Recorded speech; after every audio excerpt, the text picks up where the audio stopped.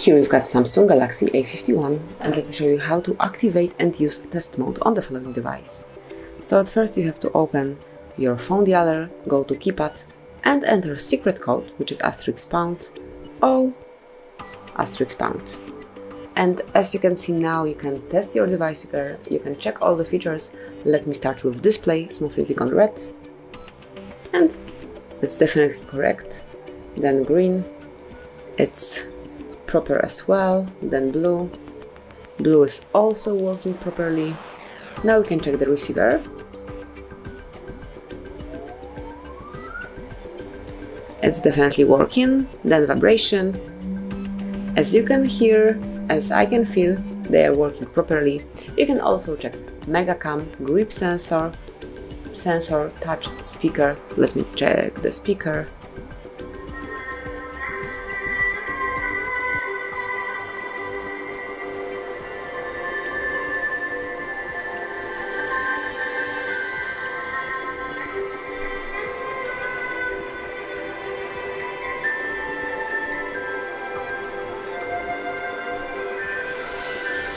and as you can see it's working properly and then you can also check sub key, front camera, sensor hub, Hall IC.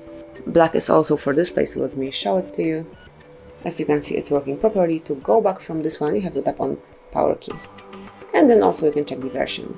So that would be all. So you can test your device by using a secret code. Enjoy, thank you for watching, please subscribe our channel and leave the thumbs up.